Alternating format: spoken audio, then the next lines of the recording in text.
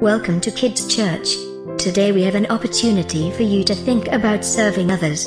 Jesus gave his life to serve others and he wants us to do the same. Instead of waiting for your parents to tell you to clean up around the house, surprise them and start doing it on your own.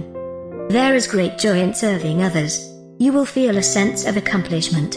You will receive a good feeling inside of you. And, the more you take serving others seriously, you will gain more respect from those around you. Think about it. Who can you serve today? God loves you. And, so do I. Thank you for joining Mighty Sound Kids today. Please subscribe to our YouTube channel, and, thank you for clicking the like button. Music and ministry for a multitude. Jesus is the answer.